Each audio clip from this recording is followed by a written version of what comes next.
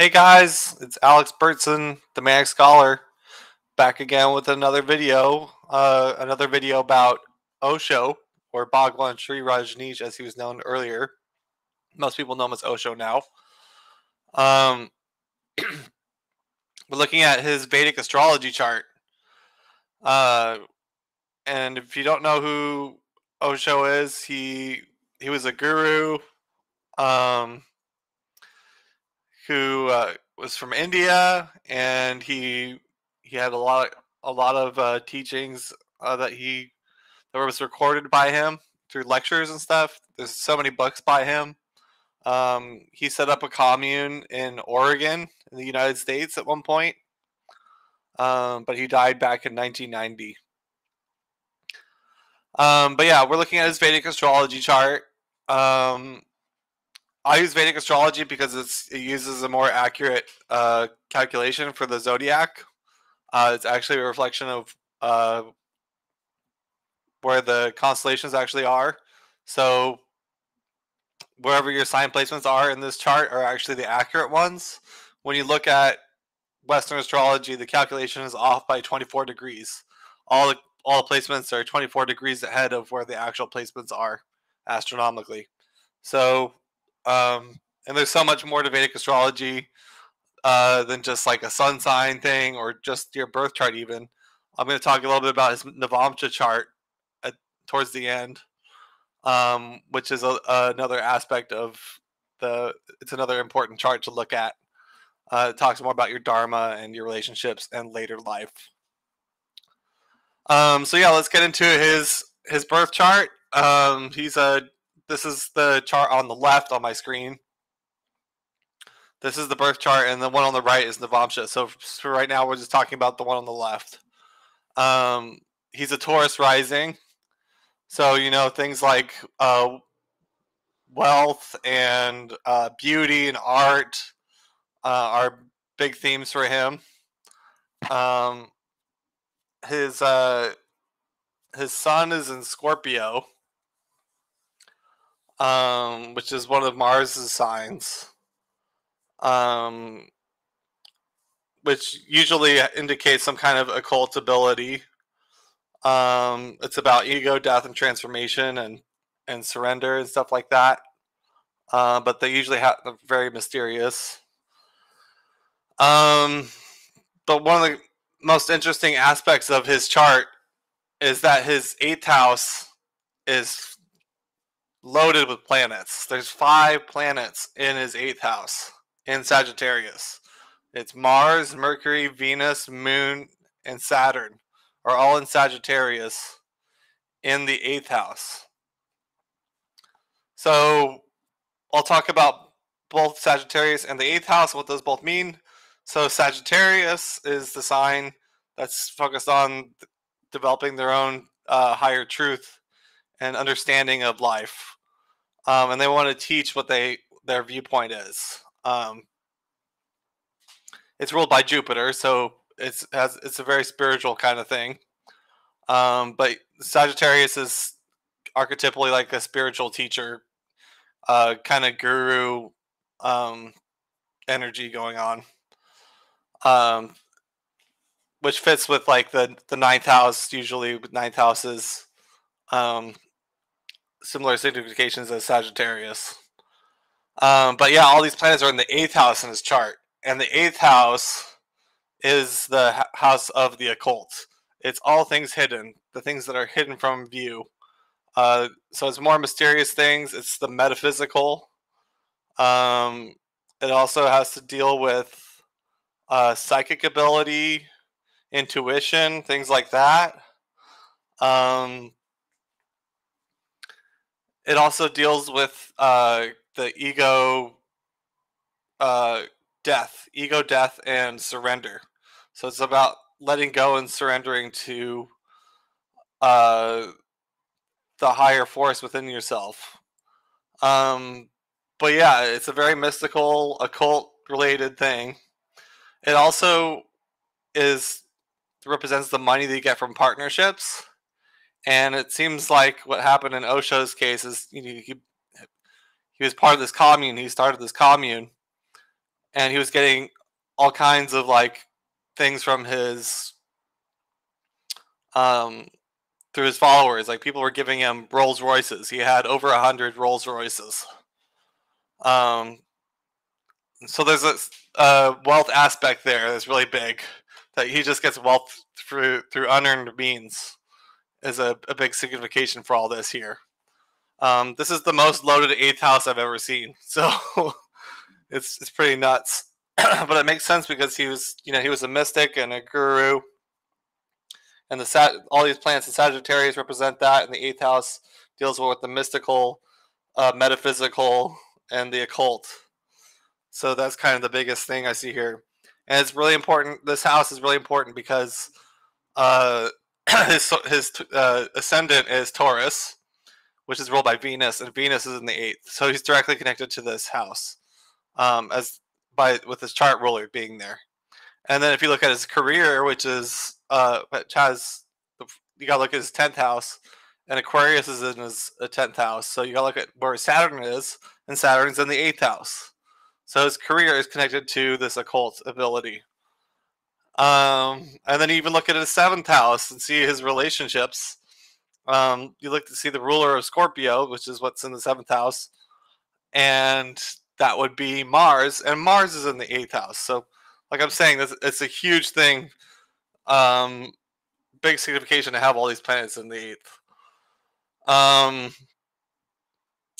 one thing we can look at here, though, is also that we got to look at the ruler of the eighth house, which is Jupiter. And Jupiter is in the third house in Cancer. Jupiter is exalted in Cancer. Um, so it's st- strongest. It knows how to express its energy naturally uh, in that exalted position. Um, so there's a connection between his eighth house and his third house. So this could mean that he communicates about the occult. Um, and then so and Jupiter is a more of a spiritualizing influence, so it could be more of a spiritual thing that he communicates about in general with with Jupiter in the third house. Um, but yeah, so he's connected to communicating about the occult. Um, you could say that with these connections here. Um, so another thing we could look at about his chart, um, well, the sun is in the seventh house.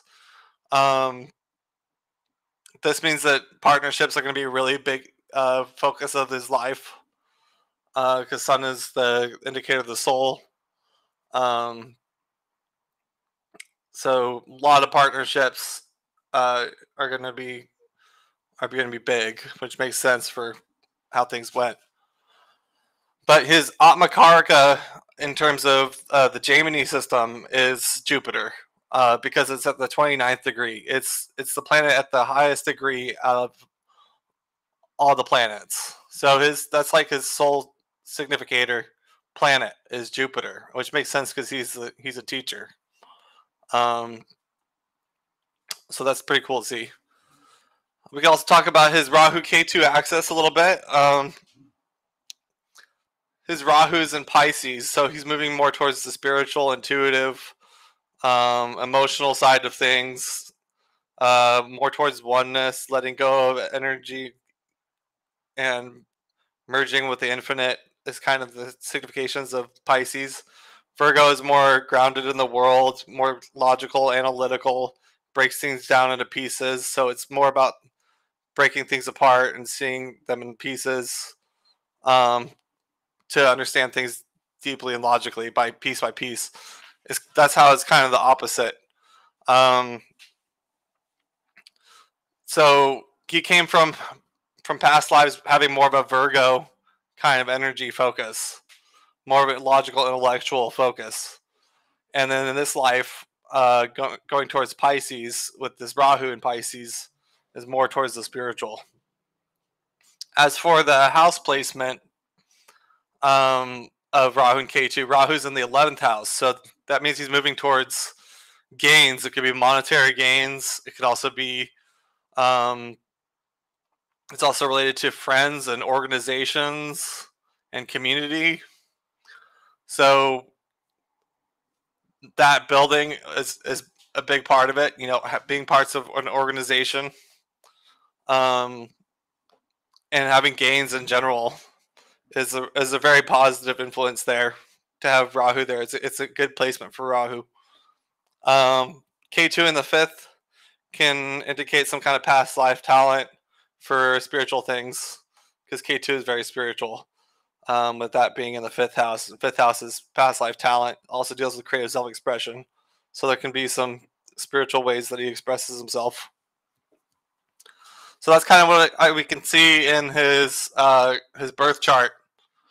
Um, just a couple things to look at in his Navamsha. Um, one thing we can see is his Atmakaraka, which was Jupiter, is in the ninth house in Pisces. So it's in its own sign in the Navamsha. So it's really strong. Um, it was exalted in the Lagna birth chart, and it's in its own sign in the uh, Navamsha. And the Navamsha ruler is the moon because he's a Cancer rising on his Navamsha. Uh, his Navamsha Lagna is in Cancer. Um, and his moon's in the fourth in the Navamsha. So this kind of suggests that uh, home and real estate, ashrams, things like that, are going to be a big going to be a big area of life um, of focus. So, and that's you know he did have ashrams. He had this whole land, like a whole city that he built with all his followers. So that kind of makes sense there. Um, his sun is in the eighth eighth house in the Navamsha, so there's even more significations of uh, occult stuff going on. Um, so that was just a couple things you can see in his Navamsha. Um, so yeah, overall, you know, this is a very spiritual chart. Uh, there's a lot of strength towards gains, monetary gains, uh, wealth from unearned means. Um, he's really connected to the occult as being a Scorpio sun and having five planets in the eighth house. Um, very mystical, metaphysical. Um, Jupiter is his Atmakaraka, his soul planet. So uh, spirituality is really big. And then Taurus is, as a rising sign indicates a focus on wealth um, and the arts too. So yeah, that's that's basically what I can see here. Um, very spiritual, metaphysical chart.